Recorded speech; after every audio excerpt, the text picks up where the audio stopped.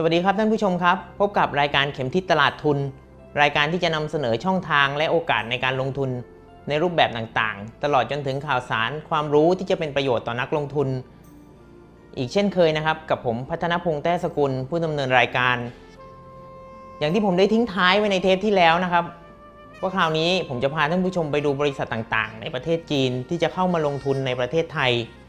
โดยบริษัทเหล่านี้เนี่ยนะครับได้เข้ามาร่วม ในงานแสดงสินค้ามหากรรมสินค้าจีนมาตรฐานส่งออก หรือ ACIEC ซึ่งจัดขึ้นโดยสมาคมส่งเสริมการค้าอาเซียนสากล ที่ศูนย์แสดงสินค้า Impact เมืองทองธานี ในช่วงสัปดาห์ที่ผ่านมา จุดประสงค์ของการจัดงานครั้งนี้ เพื่อต้องการแสดงศักยภาพของบริษัท และมาตรฐานการผลิตต่อคู่ค้าพันธมิตรที่เข้าร่วมทุน ไม่ว่าจะเป็นการผลิตในไทย หรือการที่จะ ประเทศไทยเนี่ยเข้าไปลงทุนในประเทศจีน และจีนจะเข้ามาลงทุนในประเทศไทย อีกทั้งยังสามารถต่อยอดไปจนถึง 10 ประเทศอาเซียน ที่จะเปิดเขตการค้าเสรีภายในปี 2558 นี้นะครับ ความคืบหน้าโอกาสการลงทุน และแนวโน้มทิศทางที่เราจะแสวงหากำไรได้เนี่ยมันจะไปในทางไหน ไปฟังกันเลยดีกว่าครับานผู้ชมครับอย่างที่ท่านผู้ชมเห็นในรูปนี้ก็คืออโรงงานอุตสาหกรรมต้าขวา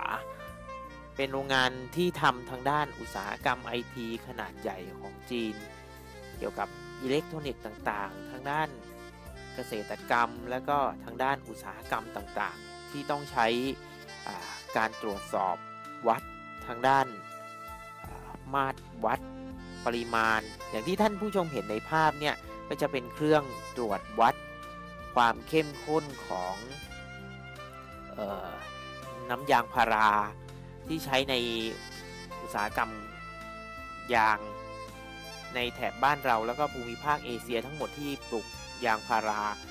ในเครื่องนี้จะตรวจวัดความเข้มข้นของระหว่างน้ำยางดิบ ที่มีตัวเนื้อยางเข้มข้นมากน้อยแค่ไหนกับตัวน้ำที่เจือปนอยู่ในน้ำยางนั้นนะว่า มีปริมาณคุณภาพ น้ำยางดี หรือน้ำยางที่ไม่ดี ซึ่งนอกจากนี้เนี่ยนะครับในโรงงานต้าขวาเนี่ยก็จะผลิตส่งขายให้กับเขตในประเทศแถบภูมิภาคอาเซียนทั้งหมด แล้วก็แถบประเทศอื่น ๆ ที่สนใจต่างๆ นอกจากที่จะผลิตเองแล้วเนี่ยยังผลิตให้กับแบรนด์อื่น ๆ อีกด้วยนะครับ อย่างในตัวภาพนี้ก็จะเป็นเครื่องที่วัดแรงสั่นสะเทือน แล้วก็อัตราการส่งผ่านของคลื่นอินฟราเรดหรือที่เรียกกันง่าย ๆ ก็บ้านเราคล้ายๆรู้จักกันในในชื่อเตาอบไมโครเวฟประมาณนั้นนะครับ เป็นคลื่นคลื่นแบบเดียวกับที่ใช้ในไมโครเวฟแต่อันนี้จะเป็นแบบการส่งผ่านคลื่นอินฟราเรด ไมโครเวฟซึ่งลักษณะของตัวคลื่นตัวนี้จะใช้ในเรื่องของการสื่อสารโทรคมนาคม ที่ใช้ติดต่อสื่อสารกัน ทั้งในในส่วนของอภาคอุตสาหกรรมแล้วก็ของอิเล็กทรอนิกส์แล้วก็ของไอทีอื่น ๆ แล้วก็ในส่วนของเอกชนแล้วก็ทหารด้วยที่จะเข้ามาให้บริการนะครับ ก็ตรงนี้ก็จะเป็นในส่วนของโรงงานผลิตและประกอบชิ้นส่วน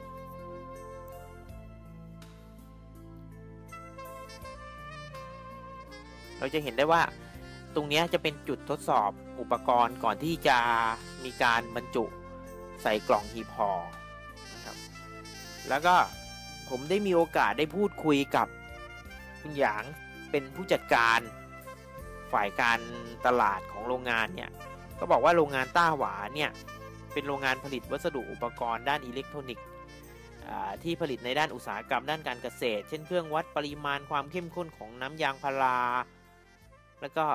อุปกรณ์อื่นๆ รวมไปถึงบริษัทลูก ซึ่งเรารู้จักกันดีในชื่อบริษัทไอโกผลิต power bank ส่งจำหน่ายทั่วโลก แล้วก็ส่วนใหญ่ก็จะมีจำหน่ายในประเทศจีน เป็นส่วนมากนะครับ แล้วก็ผลิต power bank ตัวนี้ก็ส่งขายให้กับกลุ่มประเทศอื่นๆ ในที่เขาสั่งมาผลิตเองแล้วก็ผลิตในในแบรนด์อื่นด้วย แต่ส่วนใหญ่ก็จะผลิตในแบรนด์ iGo เนี่ยนะครับ แล้วก็ผลิตแบตเตอรี่ให้กับโทรศัพท์มือถือ แล้วก็อุปกรณ์ไอทีอื่น ๆ อีกเยอะแยะมากมาย ในส่วนของตัว Product ของต้าขวาเนี่ยจะมียอดขายเฉลี่ยสุทธิอยู่ที่ 50 ล้านหยวนต่อปี และนอกจากนี้ยังมีการค้นคว้าวิจัยทางด้านอุปกรณ์ไอทีอื่น ๆ เช่นอุปกรณ์ที่เกี่ยวเนื่องกับธุรกิจพลังงาน ที่จะเอามาใช้ในธุรกิจพลังงานทดแทนเนี่ยนะครับ แล้วก็บริษัทยังมีการส่งออกไปขายยังต่างประเทศ ซึ่งมีสัดส่วนรายได้ถึง 20%จากรายได้ สุทธิทั้งหมดต่อปีที่ส่งออกไป ซึ่งจากการที่เขาคาดหวังว่าเขาได้เข้าร่วมกับสมาคมการค้าอาเซียนสากลเนี่ยจะช่วยทำการตลาดเมื่อเปิดเขตการค้าเสรีอาเซียนในปี 2558 ได้เนี่ยจะขยายตลาดไปยังภูมิภาคต่างๆ ของอาเซียนเราใน 10 ประเทศ ทั้งไทยทั้งฟิลิปปินส์อินโดพม่า เวียดนาม กัมพูชา แล้วก็ประเทศอื่นๆเนี่ยนะครับ เขาบอกว่าในส่วนของ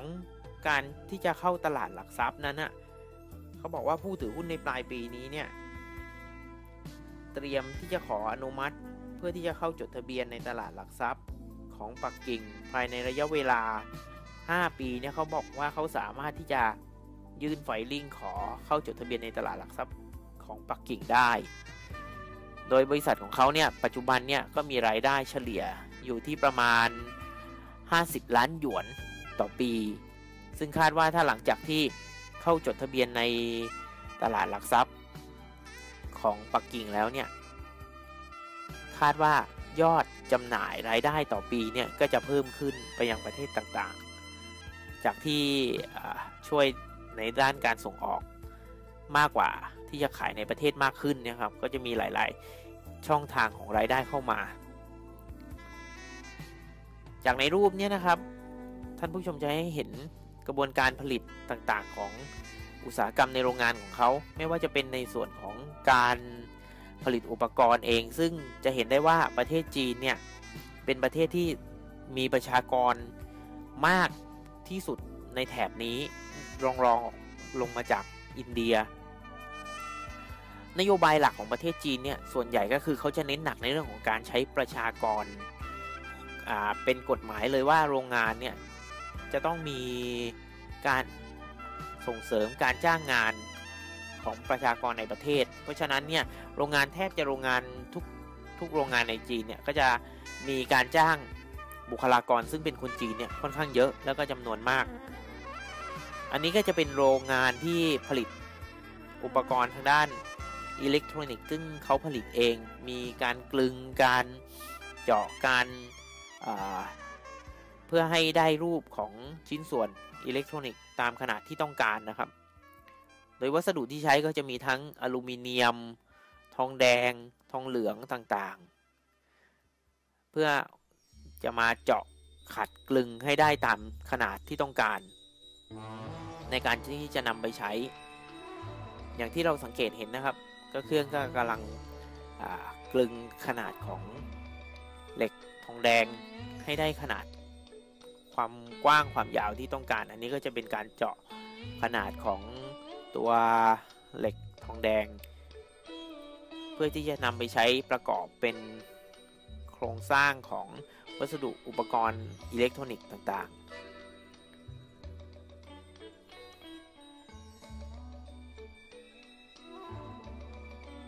นี่ก็จะเป็นใบใบงานที่ว่าระบุว่า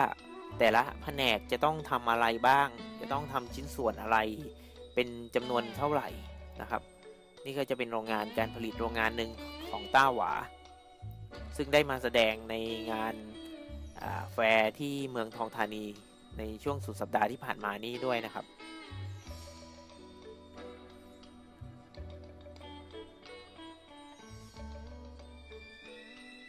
พนักงานที่นี่ก็จะมีอยู่ราวๆประมาณ 400 คน ซึ่งจะเป็นในส่วนของโรงงานการผลิต ส่วนจะเป็นที่ในส่วนฝ่ายโซนออฟฟิศก็จะเป็นอีกที่หนึ่งก็จะมีพนักงานที่ทำทางด้านในเรื่องของแพ c เกจจิ้งหีบห่อแล้วก็ส่วนการวางแผนออเดอร์การจัดจำหน่ายต่างประเทศ เป็นยังไงบ้างครับท่านผู้ชมครับ ผมหวังว่าสิ่งที่ผมนำเสนอ ต่อท่านผู้ชมไปแล้วในครั้งนี้จะช่วยเปิดมุมมองและโอกาสของ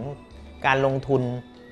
ที่จะเข้าไปแสวงหาช่องทางและการทำตลาด เพื่อที่จะสร้างกำไรในตลาดทุนจีน และประเทศอื่น ๆ ของกลุ่มประเทศ AEC ที่จะเปิดเขตการค้าเสรีในปี 2558 นี้ ส่วนสัปดาห์หน้าเนี่ยเราจะกลับมาพูดคุยกันต่อกับท่านทูตภัยจิตวิบูลธนสารอัครราชทูตจีนประจำกรุงปักกิ่ง ถึงช่องทางการทำธุรกิจของนักธุรกิจไทย ที่มีความต้องการขยายกิจการเข้าไปลงทุนในประเทศจีน และการแสวงหาพันธมิตรที่จะเข้าร่วมลงทุนยังไงให้ปลอดภัย ป้องกันการโกงยังไง เลือกพันธมิตรยังไง ให้มีความน่าเชื่อถือ ส่วนสัปดาห์นี้ผมต้องขอลาท่านผู้ชมไปก่อน แล้วพบกันใหม่ในสัปดาห์หน้าครับ สวัสดีครับ